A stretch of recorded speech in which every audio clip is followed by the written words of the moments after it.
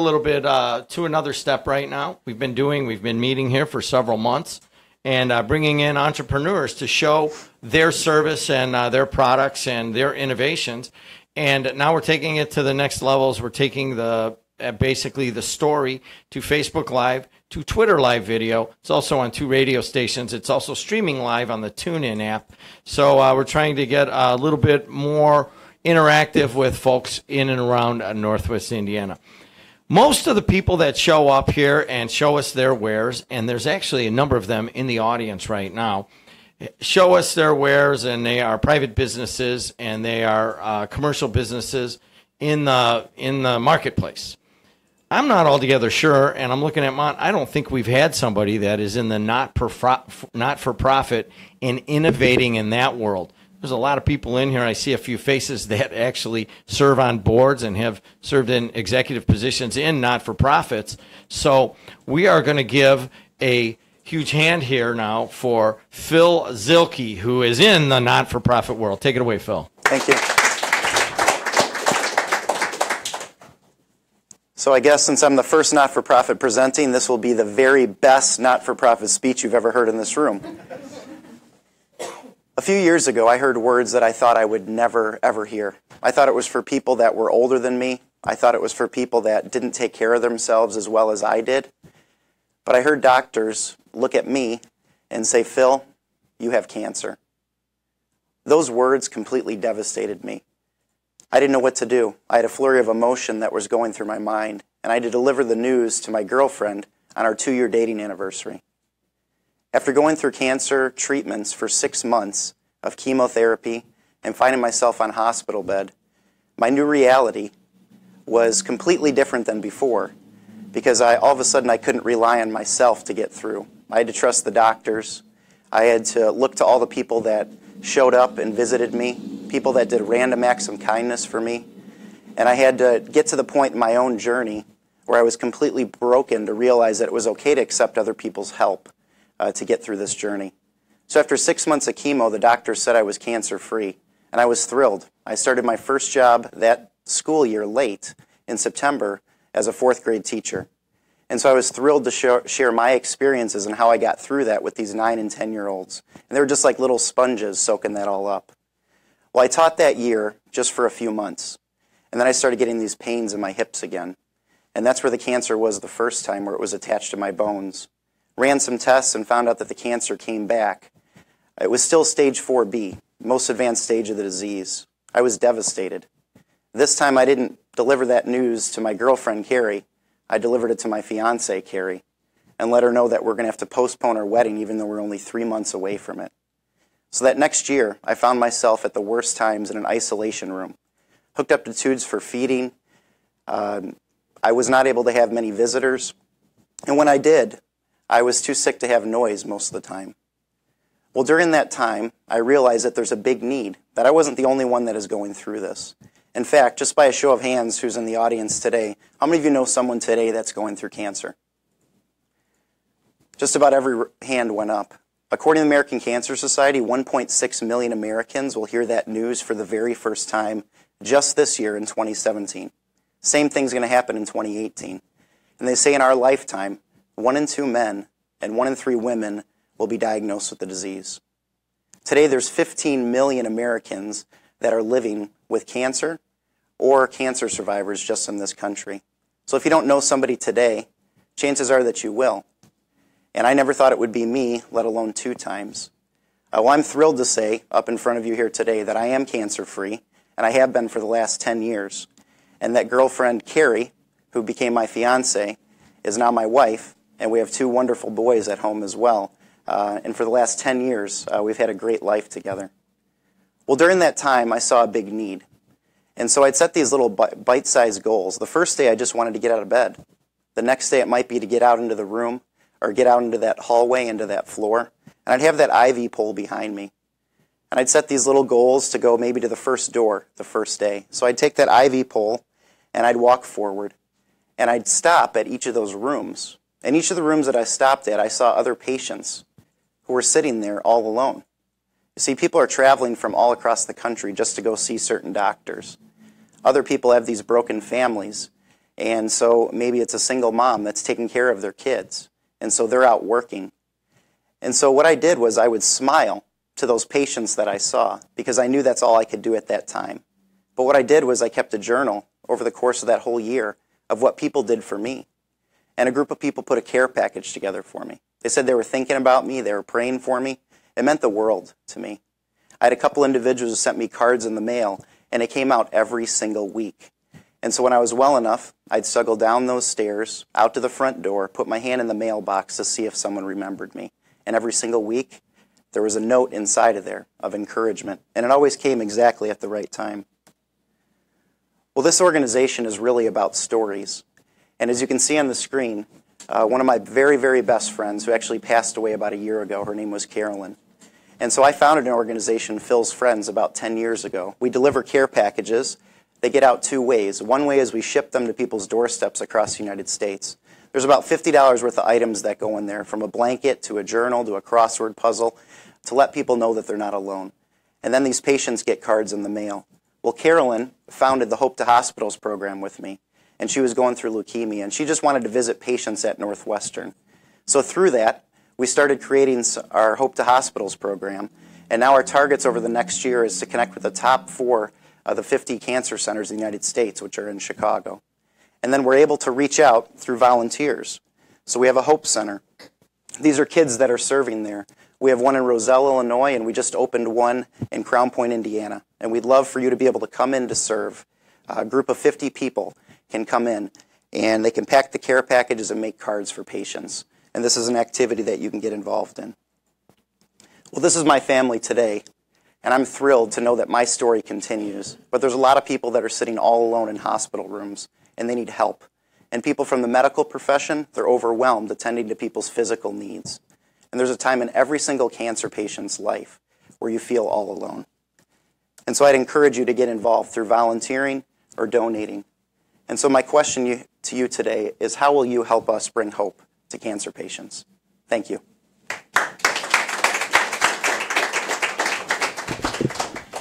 For those of you guys listening on the radio, that's uh, Phil Zielke. Phil, thanks for uh, you know sharing this story. Uh, there's a lot of emotional uh, stuff to this story. There's also a business side to what you're doing right now, and typically we, I think we all have a path for you know first stage second stage funding and and how you go about start uh, i think we just had a, a gal who basically self-funded her own in a transition. How do you start up an innovative not-for-profit on a in a business manner? Yeah so i think the biggest thing is anything starts with a vision and so we had a vision of where we want to go we want to connect with the top 50 cancer centers across the united states uh, we also want to set up these hope centers where people can serve across the United States because the need is so big. And I think one thing that uh, is common, whether you're not for profit or a business, is passion.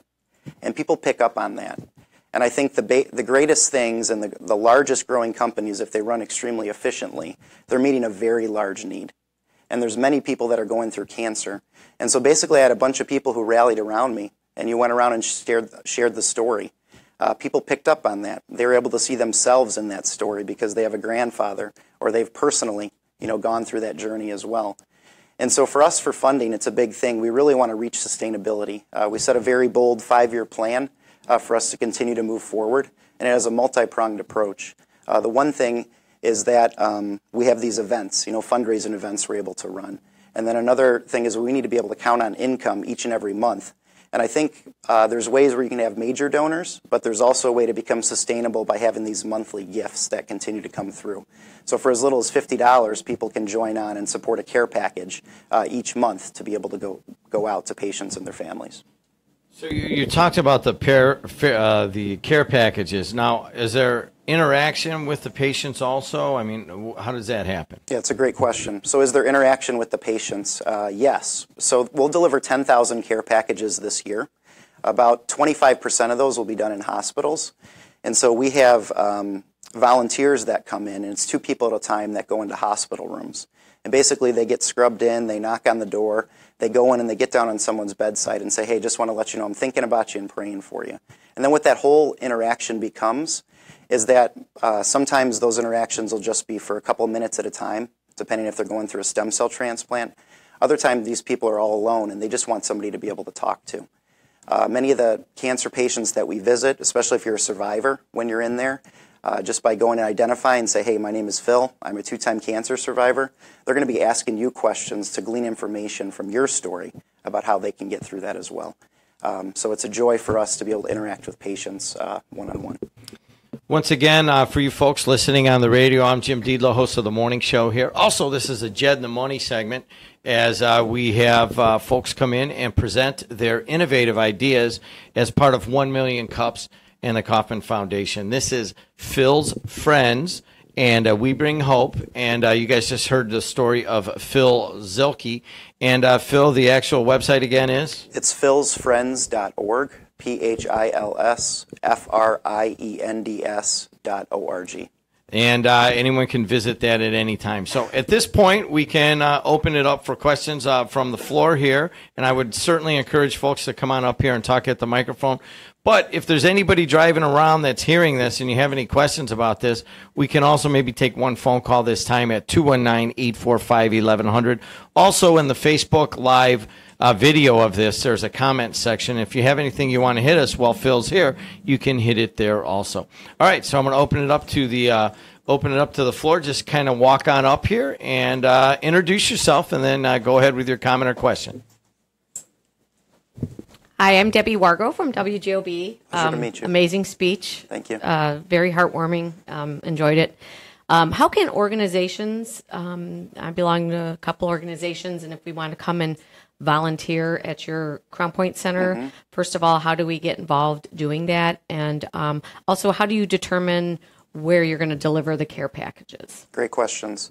Uh, first of all, getting involved. We want to be able to engage a number of people. So we have people come to our Hope Center and serve, whether they're corporations or businesses, Boy Scouts, Girl Scouts, uh, churches, community organizations. And so the way to do that is easily to go to our website and you can sign up to volunteer. And uh, basically, it takes one person to reach out, and then they rally a group of people uh, to come and serve. So that's again at philsfriends.org. Also, you can give us a call uh, on our uh, phone number, which is 224 653 8671.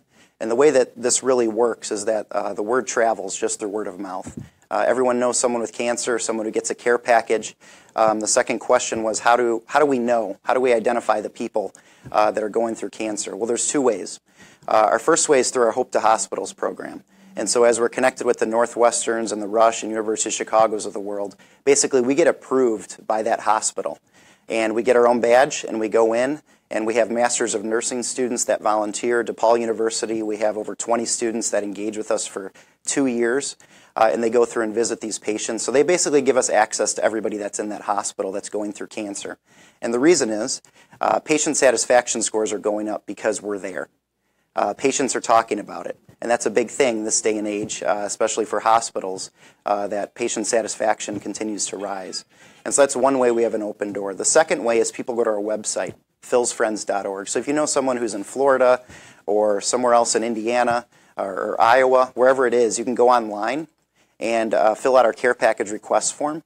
And on that form, you basically put in your information as the requester and then your friend's information as the patient.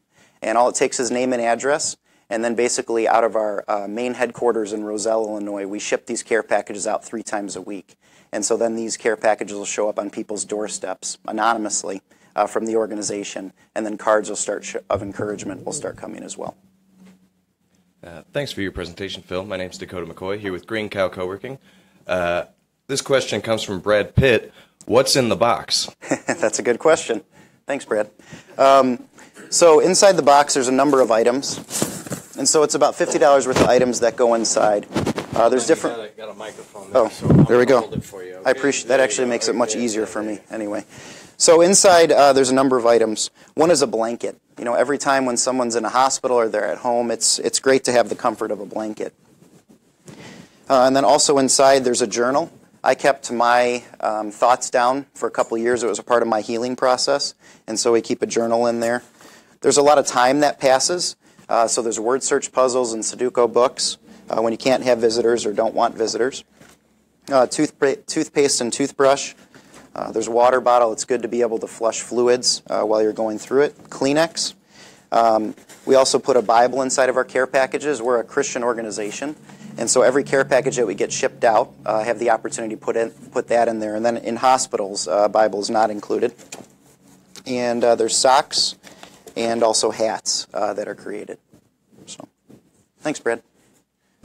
Yeah, once again, we're talking to uh, for those folks on the radio. It seems like if you're here low, if you're here in the audience, other than Jim Rags, I think some of you guys might have some questions about why I keep introducing it because we are uh, live on the radio and we're talking to Phil Zielke. He has Phil's Friends. It's part of one of my Jed and the Money segments, and this one is One Million Cups with the Kauffman Foundation. You can watch it right live on Facebook, facebook.com slash WJOB.1230. Mont Hanley puts all this together, both One Million Cups and here at the Purdue Commercialization Center. Mont wants to say a couple words. Great presentation, Phil. Thank you. For any other non-for-profits or for-profit businesses that would like to um, present at 1 million cups, you can go to our website. It's 1 million cups. It's the number one spelled out million cups backslash Hammond.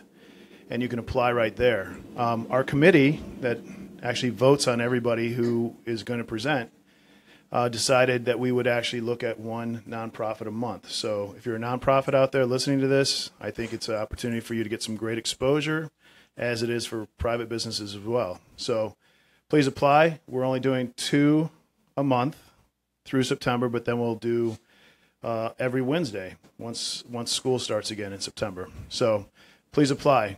Um, I think I was put in touch with you through Susan Webb at Fair Oaks Farms. I think they recommended that you be a presenter, and I'm really glad that she recommended you. Uh, I also think working with Lauren and Judy's been phenomenal. They're awesome. Are they volunteers? Uh, no, they're employees. Okay, great. They hold me together. It All takes right. many to do that. Very good. So, yeah. So, um, wow, I just lost my train of thought. Jim, you have to help. time. Always. There you go. Hey, uh, well, we're gonna just one final question. Um, Phil, I know you've you've got you've shown a little bit of your vision. Give us five years from now where Phil's Friends is. Sure. Five years from now, it's our goal that we're going to open 10 of these Hope Centers across the United States. And our targets are the top 50 cancer centers. And so within five years, we're, we're hoping to be connected with 25 of those cancer centers. All right, guys, let's hear it for Phil. All right, thank you. All right, so uh, those of you that have been here for a while, we, we go typically go a little bit longer, but since it is uh, kind of a show right now, we're gonna uh, do a little bit shorter. And Phil, I want, we want to thank you so much for sharing uh, openly your story, and I'm sure that it's a story that is repeated across America, and also for just seeing the need. And uh, very much thank you for that. And I want to thank everybody here for coming in. Uh, to did someone else have a question? Oh, Mike, you wanted to finish up? I think he's on. All right, guys. So that is uh, right now. We're going to finish our Facebook Live. Thank you.